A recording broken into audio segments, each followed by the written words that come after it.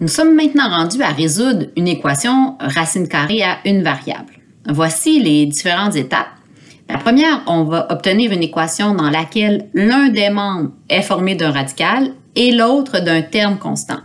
Attention, très important, la résolution ne peut se poursuivre que si le terme constant est positif.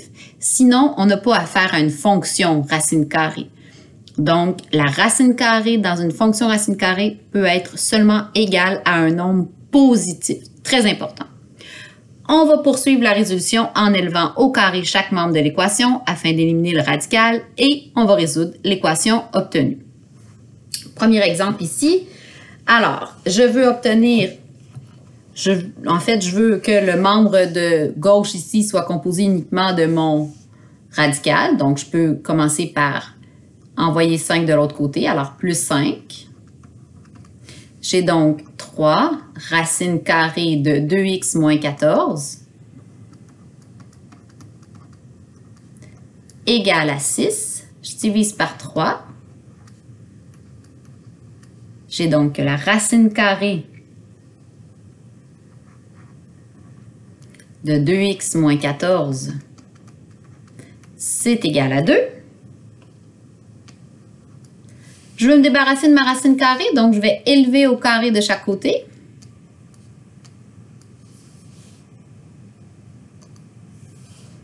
J'obtiens 2x moins 14 égale à 4. Je vais continuer ici.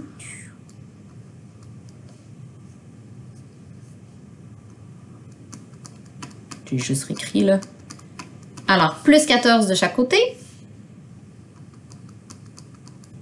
Là, on a une petite équation de du premier degré à résoudre, hein, de base. Là. 2x est donc égal à 18. On divise par 2, on divise par 2. Alors, x égale à 9. Voici tout simplement la réponse de l'équation racine carrée avec la racine carrée. On va faire deux exemples ensemble. Premier exemple, ici, mon équation est égale à 0, donc je vais commencer par soustraire 5 de chaque côté. J'ai donc moins 3 racine carrée de 2 moins 4x égale à moins 5. Je divise par moins 3. 1 moins divisé par 1 moins, ça donne un plus. Une chance. Alors 2 moins 4x égale à 5 tiers. On élève au carré pour se débarrasser de la racine carrée. J'obtiens 2 moins 4x égale à 25 neuvièmes.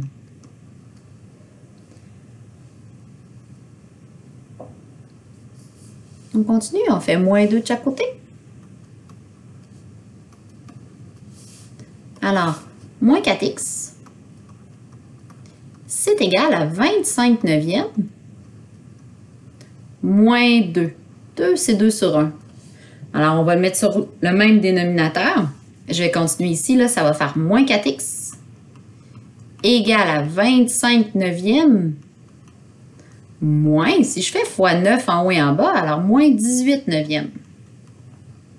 Pour l'avoir sur le même dénominateur, donc moins 4x va être égal à 7 neuvièmes. Je divise par moins 4. Je divise par moins 4. J'obtiens donc x égale à moins 7 sur 36. Voilà la réponse pour la lettre A. La lettre C maintenant. On va aller voir qu'est-ce qu'on obtient.